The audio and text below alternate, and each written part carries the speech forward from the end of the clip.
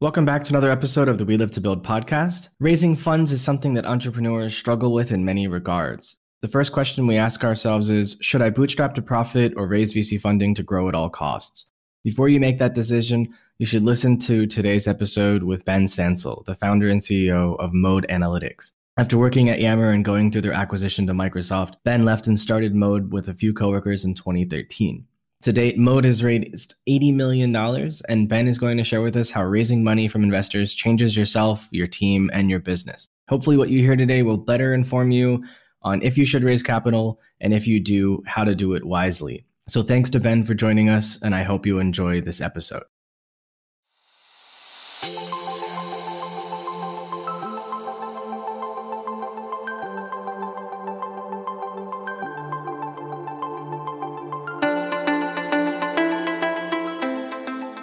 Welcome to We Live to Build. My name is Sean Weisbrot, and I'm an entrepreneur, investor, and advisor based in Asia for over 12 years.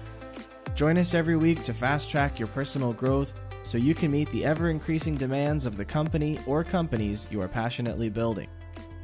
Time waits for no one, so let's get started now.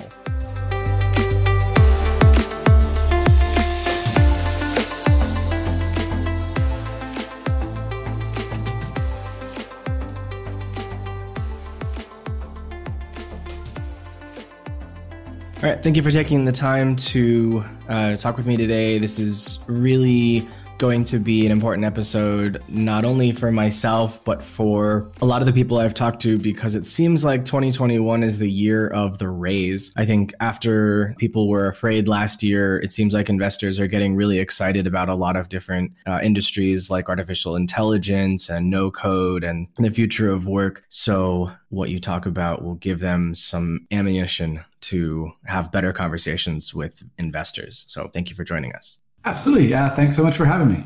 So before we go any further, why don't you talk a little bit about what Mode is? Yeah, so Mode is a tool for analysts and data scientists to be able to create and share their work more easily with with their coworkers and people around their business. So my former role was that of an analyst or a data scientist or kind of whatever you want to call it my job was to help other people around the business make decisions and do so with data. And so the kind of problem that we saw back when I was doing that job uh, was it wasn't easy for me to be able to create things and the tools that I wanted to create and then easily share them with folks uh, around the business. So if I'm helping a product manager or an executive or someone on the marketing team try to understand the, the data that they have and, and help them make a decision about which feature to build or which marketing campaign to focus on, I wanted to work on a set of technical tools that were designed for me. And I wanted to be able to share something with them that was that was kind of a packaged up view of those results that I found the, the charts, the graphs, the insights, whatever it was. Uh, and there wasn't a great way for me to be able to do that in an environment that felt comfortable for me, that also felt comfortable for the person who was who was consuming it. So ultimately, that was kind of the the key thing that we wanted to start building at Mode was can we create that kind of workspace for analysts and data scientists that doesn't just provide the tools for them, but also provides good ways for them to be able to share their, with their coworkers, collaborate with their coworkers, and make it something that's not just a tool for for technical folks, but also a tool for the rest of the organization. It does sound really interesting. I did check it out briefly, but uh, it is something I mentioned to my marketing director uh, to see if it was something he'd be interested in trying. Let's get into uh, the raising and all that. When we were talking in our intro call, you said that you've raised money based on your pitch deck before you started building, and then you got into a seed and an A and a B and a C and a D. And over all these rounds, you've raised $80 million.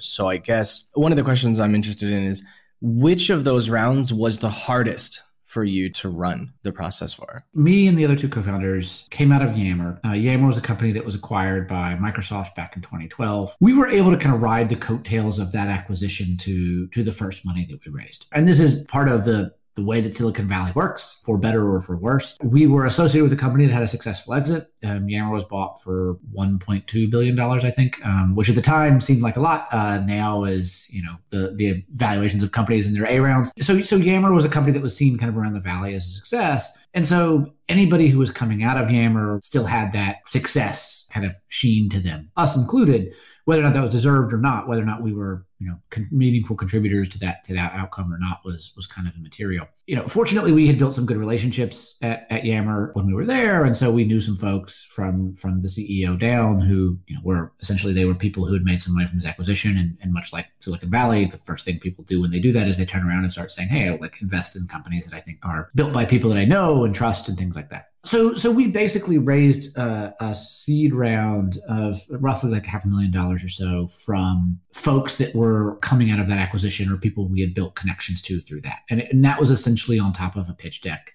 of saying, "Hey, these are the ideas that we want to build." Um, these people had context into the things that we had worked on before. They also had context into the product we wanted to build because it was inspired by some internal tooling that that we had built at Yammer. So a lot of that was was we were raising it off of off of an idea and off of people trusting us as individuals that they had worked with before. From there, a lot more of it came and we had to start proving traction. There was kind of this early seed round and then a later seed round we raised, I want to say probably a year later, um, where people, we, that was from other investors that weren't affiliated with Yammer in any way. And at that point, we had to start proving, hey, we had a product, we have traction, we have customers, things like that. In all of this, I think that the A was probably the hardest for a couple reasons. I think it is it is the transition from an idea to a business. That is the point at which you have to start showing like you have customers that are happy, you are growing, your revenue is growing. The initial seed round was kind of on on hey, we we have an idea and then it was on we built a thing that has a few people who are trying it out. They didn't expect anybody to be paying like real meaningful money for it. They just wanted to see that that we weren't crazy and we hadn't invented something that nobody cared about but but for the the a it's it's like all right show me your customers show me your retention rates show me you know customer cohorts and how they're growing. The numbers aren't huge. We weren't making a ton of money or anything but they were they were evaluating the business not just the idea and the team it's also a much harder raise because we had never done it before. It's one thing to get up and give a 12 slide pitch deck that half of it's about some problem that you already understand. The other half is about your thing that you've built and why you care about it. It's something else to, to wrap that story around like, here's the traction we have. Here's the market that we think we're going after. There's a lot more pieces in that. And I think we were, we were still very much figuring out how to do this. And so by the time we got through that, then, then two other things happened in later rounds. First of all, you just get more experience doing it. So you get more comfortable kind of figuring out what the story is that investors want to hear, how to tell that story. For instance, we had no real familiarity with like how to tell a story about a market and the market opportunity uh, with the A, and I think we kind of figured some of that stuff out. The second thing is the rounds become a little more mechanical because the very early rounds are very much you telling a personal story. The later rounds are send us your financials, we'll run it through a model, and we'll decide if we want to invest. Um, that's not entirely true. People are obviously invest, investing on more than that, but a lot more of their decision comes from show me your growth rate, show me your customer cohorts, show me things like SaaS metric. We're a SaaS business, so show me SaaS metrics. We want to see this in kind of standard financial terms, and then we'll make invest decisions on that. It's much less of a, a personalized pitch and more of here's the data, you decide from there. I can't say I'm surprised that you said the A round was the toughest. I know I started talking to investors considering that we're approaching an A round. And mostly they seem to only care about who are your other investors? Do you have users? Do you have revenue? And can you show me that data? That seemed to be the like the only thing they cared about. Well, but when I talk to C round investors, they're like, "I love what you're doing. Here's my money." They didn't. They didn't even do any any due diligence on me. They're just like, "Yeah, we understand what you're doing. We think there's a great opportunity. Here's the money." I don't want to generalize too much, and I think I'm sure this is somewhat geographic as well. But the Silicon Valley kind of approach to this is is one thing. That's the one that I'm familiar with. So so that's kind of what I would talk about. But the seed rounds in those cases are definitely get to know people. People will invest. I don't want to call it emotionally, but on hey, I like you. I like your idea. Seems promising. I'm a seed investor that I've invested in a hundred things, and you know if one of them gets big, then it all pays off. And I think there's a lot more willingness to to t- take those chances and also just do it on like there's not that much to prove. You just kind of have to do it off of do you believe in the market? Do you believe in the the founders? Do you believe in sort of the early stages of what they've done? Again the a is kind of crossing that chasm a little bit to show me a business. That is at least the initial way that it starts. I think the one caveat i would add to that given that you brought up like who are your other investors is investors are people too there will be some formula to how they decide to invest but they will consistently override it if they want to. Like like they can be sold just the same as everybody else. You can walk into a car dealership and think, you know, I'm going to buy a car in a very particular way with a very particular budget, and then some salesperson comes along and gives you a great sell. You very well may walk out with a different car than you thought. Uh, and investors are no different. Like if if you sell them or build the relationship with them, or if they see some other investors involved and they trust that person or that firm, they can be sold just the same. All, all of this kind of comes with the caveat that this is typically how it goes, but there are certainly ways to break out of those patterns if you have a particularly compelling pitch or seem like a particularly compelling founder or whatever. Like there's obviously extreme examples, but you know, you look at companies like Theranos. Theranos was sold entirely on on the founder essentially. There was obviously nothing there, but enough people got on board that they just all sort of believed it. And that's, you know, the worst sort of case, but you see that all the time in other startups that, that just seem to have some sort of they catch some investor's eye for some reason they develop some sort of emotional attachment to it and and so it's off to the races so when you were going to do each round did you start to prepare to update your documents when you knew you wanted to start raising or did you just constantly review your documents and keep them updated throughout the years Yes, that's a good question. So there were two big pieces to our fundraising process each of these times. And and they tra- again they transitioned more from one to the other over the course of the rounds because it became less about the story and more about the business. But in the early rounds, the seed rounds, the A to some extent the B, we did we we built materials for those rounds that were this is the story, this is who we are, this is our vision for the market, this is what we want to do those were stories that were catered very much to where we were in that moment. So it was, okay, what have we built so far? What is on our roadmap? What proof points do we have to this point? You know, which customers have we closed right before this round? And can we can we turn this one customer into a bigger story about the opportunity for mode? For instance, I believe this was our A round. Shortly before we closed our A round, we signed what was at the time our biggest customer I have no idea what they actually paid us. I remember signing it and thinking like, "Oh my god, I can't believe someone's paying this much money." But it wasn't that significant of amount. But it was a healthcare company, and so I remember part of the story with the A was we just signed this healthcare company. Mode is a cloud product that sells a data product, which at the time people were pretty uncomfortable with. Now less so, but still a little bit. This was like part of us telling the story that hey, look at look at how data is moving to the cloud this is sort of the the first signal of we can sell to companies that you wouldn't sort of traditionally think of as companies that would be okay with the cloud because we have this customer that sort of proves that for us. And so, you know, we built stories around that very particular thing that had happened shortly before the round to tell kind of the, the narrative arc of what mode is. Those pitches even evolved throughout the fundraising process where we'd get feedback from one firm as we pitched them and realize, hey, this part doesn't work. Or we'd realize like, hey, we need a better part to tell this story, or they'd ask about some, you know, competitive situation and we'd have to, to kind of tweak the story in that way. So those stories were evolving throughout the round but weren't things that we maintained over the course of, of the time in between rounds. Maintained sort of formally. Obviously, like these are the stories of your business. And so you always have some version of this kind of in your head that you're slowly adapting. The numeric side of the business, what investors call the data room, I have no idea why it's called that. It's essentially a giant spreadsheet uh, of a bunch of different things that's something we actually figured out reasonably early and i think this was in our a. As as companies were or found firms were doing diligence they would ask for this data room they asked for data format in kind of a particular way mode's a data company so this was something we were fairly comfortable doing. We basically put together what that report looks like and so it is essentially a handful of tables of data that's like one row per customer per month and how much they paid you. And so that way they can compute all their SaaS metrics from it and things like that. That is something we realized, hey, we should just be maintaining this from go. Like it, it's just a thing we should have. And actually, what it became was later in the in the later fundraising processes when we realized that was such an important thing. As soon as we became serious with a potential investor, so past kind of the coffee dates and the first, you know, hey, who are you? Get to know each other. As soon as we were basically comfortable sharing that level of information with them, we would just say, "Here's our data room. Let's talk after you look at it." Rather than them having to pester us for data, we just said, "We know this is what you're going to want. Here it is. Have at it, and then we can talk if you're interested." Which was very helpful for us because it made the fundraising process much less burdensome because we weren't having to create this stuff for everybody every time. But it also, I think, was generally a very good thing for people being more interested in investing because they saw that we knew how to do this. Uh, you know, they looked at this and like, oh, these people have it together. Like they know what we're looking for. They're running their business in a good way. We're not asking them for a bunch of stuff and they're giving us some obscure numbers back or trying to spin it in their own way. They're just giving us the standard stuff and they're giving it to us up front and they're giving it to us formatted in a way that we can make use of it. Obviously, it doesn't mean they're going to invest in that. They're still going to run it through their process. But I think that that sort of thing just made the fundraising process much easier because we could kind of skip to the story part and like, do you believe in the market and where we're going rather than you're going to have a, a month long back and forth asking for this data, that data, that kind of stuff. I started doing something like that alongside my COO a year ago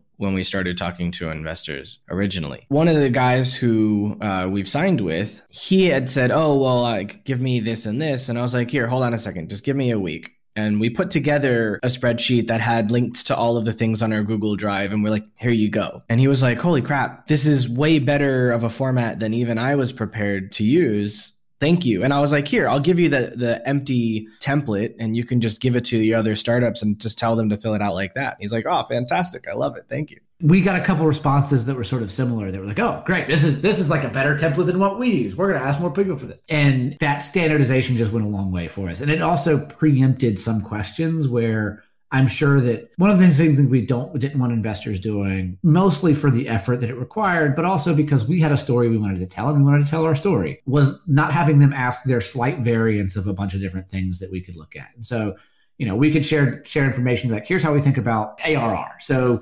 ARR is not as easy to compute as you might think. You have a bunch of like mode charges, overages, like how do we consider those sorts of things? How do we consider customers that that are in free trials or in paid trials? All these sorts of like small things that affect the way that you might compute some metrics. If we didn't give them stuff up front, what we would be concerned about was, well, they're going to come back and say, we care about ARR computed in this way, compute it in a specific way for us. Which one is bad because that's just a lot of extra work if you're chasing down a bunch of investors computing different metrics for all of them. And two, you lose kind of control of the way that you're telling the story and, and the way you're describing your business. It ends up being like they want to look at it through their lens. And while investors are smart and they they understand this stuff, their lens may not be the right one for your business, but businesses are a little bit different. They can measure things in different ways. We're not like meeting sort of GAAP accounting standards. Um, we're doing this in a way that we think measures whether or not Mode is being successful or not. And so we want to be able to tell our story in that specific way. And by having kind of all that stuff prepared up front, we could say, here's how we measure it. And people mostly like, okay, we'll measure it the way you want to measure it. I mean, within reason. There's plenty of space there for you to be able to control the story and kind of keep the narrative where you want to keep it, which I think is, is just makes it a much easier conversation.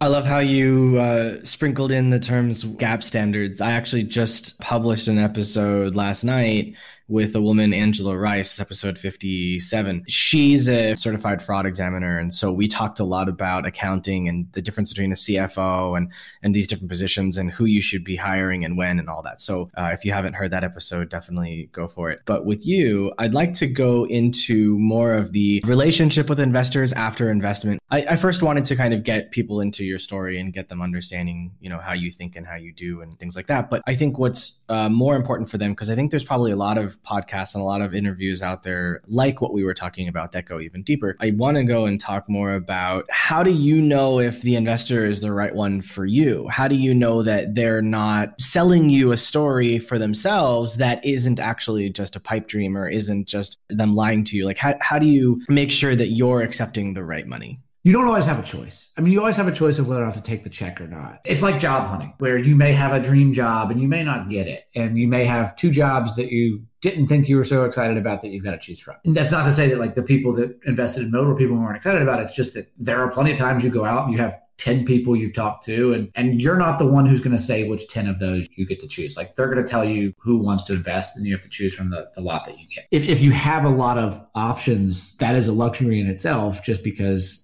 you know, good for you for building something that's very appealing. It doesn't mean it's anything bad to get one option. I know plenty of successful companies that, you know, have gone out to raise money and they've gotten one term sheet and that's the one they take. That's perfectly fine. Plenty of good businesses have done it that way. But suppose you're choosing that or you have the option, you do have some like control over who you pitch or, or, you know, who you actually want to talk to and things like that. I think the things that we cared about initially in the process of figuring out who to talk to, one of the big things is, this is a little bit cheesy, but like the, the values of the firm and the people you're talking to. There are certainly people who say, like, believe the thing they want to do is they want to build a big business at all and, and, and everything else sort of be damned. If that's what you want to do, that's what you want to do. And that's fine, but you should be sort of aware of the approach that those folks will take versus ones that care about other things as well. So, you know, if you care, for instance, say you want to build a diverse team, say you care about hiring for for diversity, you believe that's something that, that is important. Um, there are some investors that will put a lot of pressure on you to do that, and some investors that will put a lot of pressure on you to not do anything that slows down hiring. And so hiring a more diverse team is more effort. It takes time. It is more expensive. Uh, but if you value that, then great. And and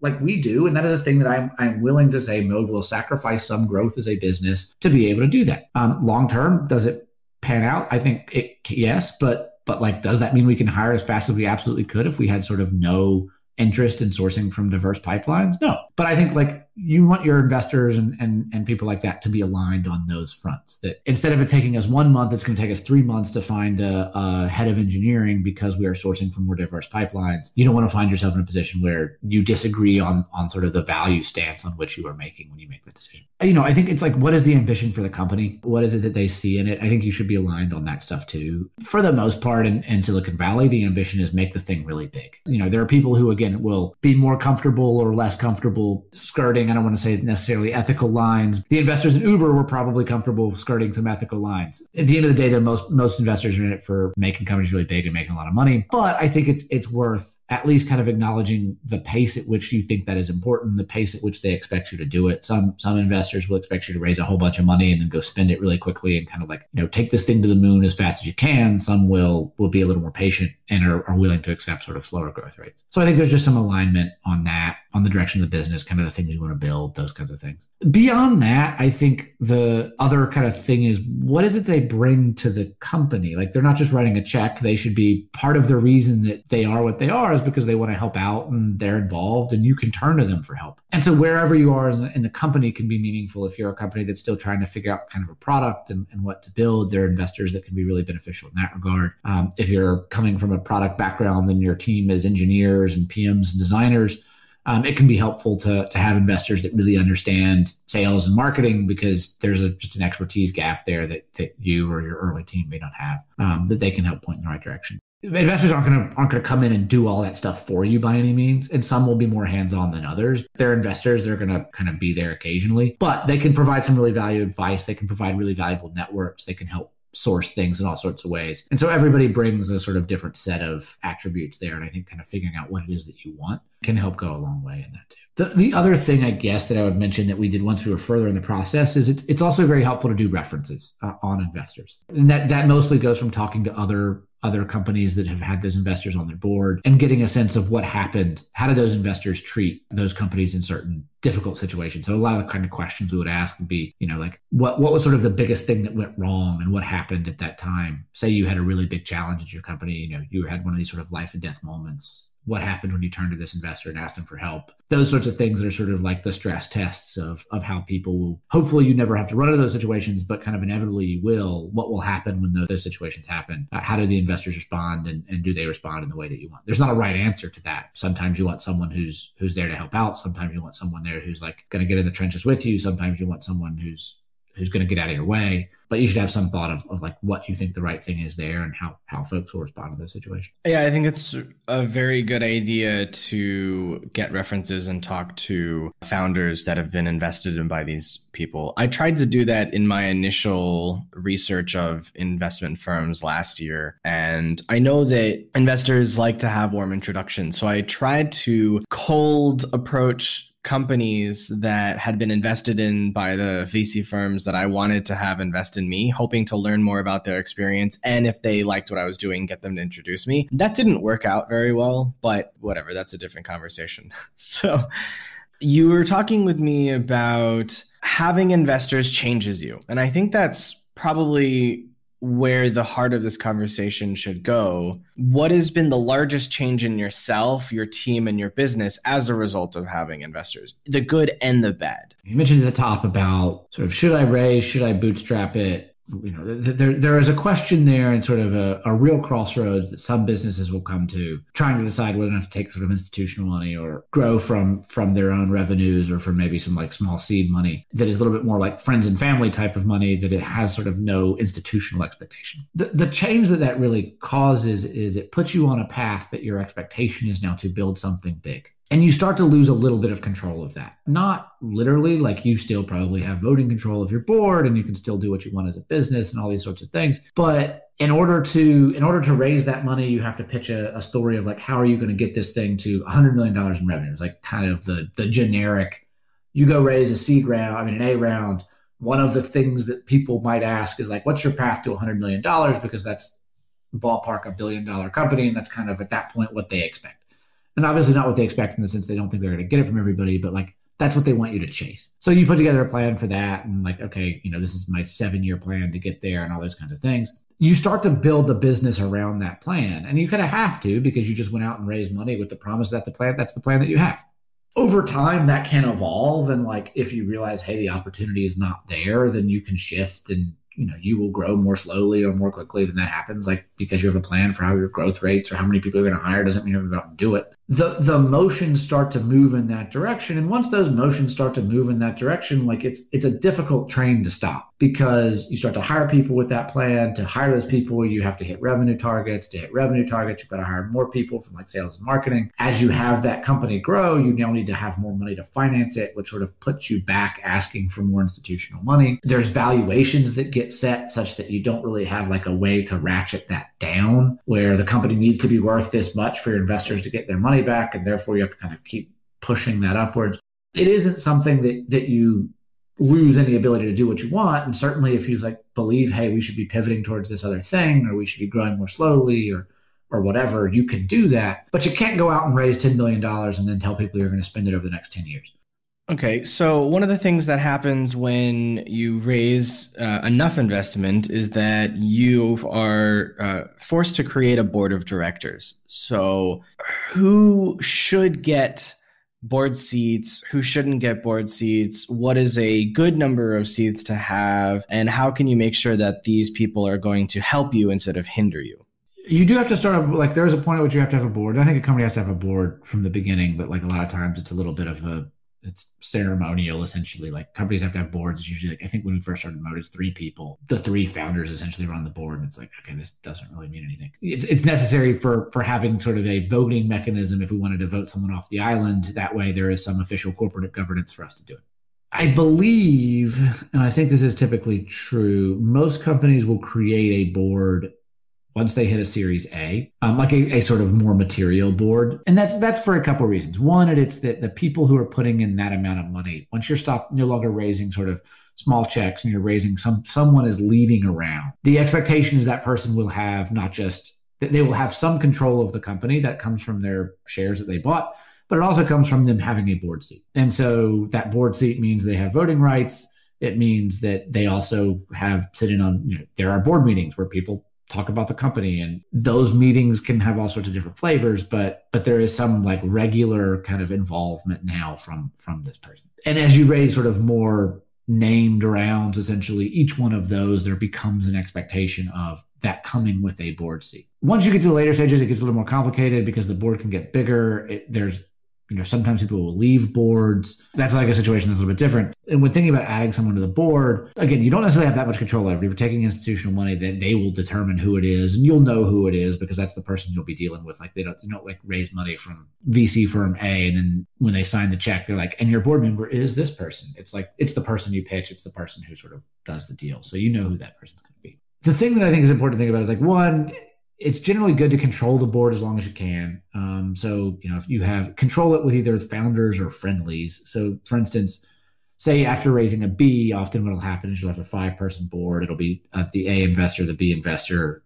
say two founders, and then like an independent person that's typically appointed by the founders, which is essentially just like a third vote for, for the founder. So that what that means is like if you lose control of the board, then they can vote you out. Probably doesn't really happen if you get to these really contentious board meetings. You that's a bad sign to begin with but it's good to be able to to maintain the control over. If there is like decisions to be made you can still be the person who's in charge of what happens with your business. Your ability to do that depends on where the business is. Anytime investors give you term sheets sort of everything is negotiable. There are standard kind of boilerplate term sheets that are you know this is the types of shares they get these are the voting rights they get these are their pro rights all that sort of stuff. These are like their triggers if stuff happens. There's like boilerplate language for that. Everything is negotiable. Some investors will basically give you the boilerplate plate and say this is good enough.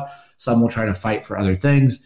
Um, if your company's in a bad spot, they will be people will be aggressive and take advantage of that and say like it's not only that we'll give you less money at a lower valuation, it's that we want certain rights on the thing. We want in the extreme case, I think I've only seen this once or twice, but extreme case, they'll be like, we want two board seats, not one. So there's a bunch of stuff like that that can happen. But for the most part, you know, you just want to be able to to maintain controllers as long as you can, and the longer you can do it, the better. And so, you know, on the other extreme cases, like I think Zuckerberg himself has control of the board in like a voting sense still today. Facebook was a promising enough company that basically people were willing to put in money without actually ever ever giving up control from one person. The only other thing I think that is worth kind of mentioning in this is is the board meeting itself. It is worth kind of figuring out kind of what what investors will want to do in a board meeting and how those things get run. It's easy to look at board meetings as sort of like you reporting to your boss. That is how it can feel because like hey, this investor's come in, they've given you money, they're now your boss in a way. You can treat board meetings as as you sort of saying, "Hey, here's what we think." Like,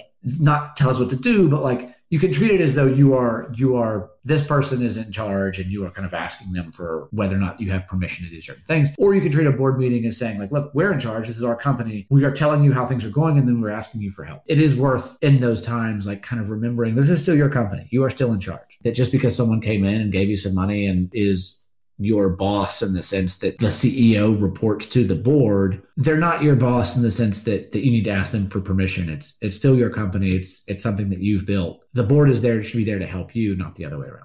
I totally agree with that. I think it's really important for entrepreneurs to be empowered in that sense. I mean, I, I have four investors right now, and I will feed them updates once a week. I haven't needed to ask them for help. I'm just telling them this is what's happened and they're like all right cool thanks. I'm curious to know how has raising money affected your relationship with your co-founders? Raising money and the rest of just building a business is a very stressful thing. And so it puts stress on any relationship just because you're trying to work through hard stuff and there's going to be times where things are hard or where you disagree or where stuff goes wrong and somebody else makes a mistake or where you make a mistake it's a relationship. And so relationships especially when you when you stress them as much as a company will stress them is is going to go through ups and downs. I don't know that raising money has necessarily affected that as much as just like the pressure that comes with building a business and growing a business and wanting to build something that is successful that is also in mode's case that 100 plus people rely on for their jobs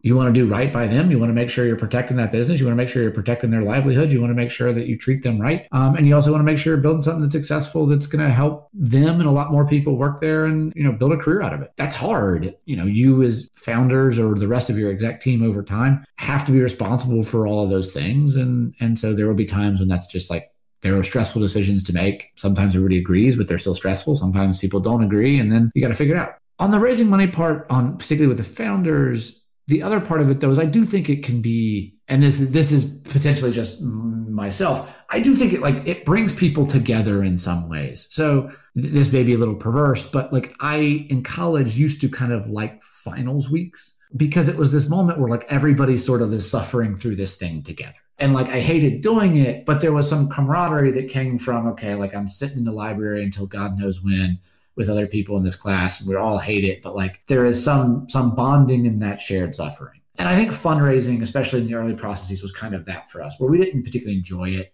uh, it was very stressful because it feels so existential to the business. It's like we have to go out and raise this money, or else we all got to tell these people to go home. You're trying to figure out like what's the right story to tell. You're trying to fight through this message and figure out like what's the magic thing to say you go to all these pitches together. You know, you have pitches where one person does great, another one does terrible, and the next pitch where it's flipped, and you're not like mad at each other, but you're just like, we got to line this all up and stuff. And and I think there is something to that experience that actually can be very beneficial. Where you know, I remember us making drives to where we were based versus the so Sand Hill Road is the, the sort of strip of VCs in Silicon Valley. The 45 hour long drive down there for like two or three pitches, coming back up, kind of going through the various stuff that happened in the course of that, which for us was, you know, involved stolen laptops and us putting together pitches on like having to redo the entire pitch at 3 a.m. And th- there is something to that that I, I do not look back at fondly, but I look back and saying that it like probably brought a lot of the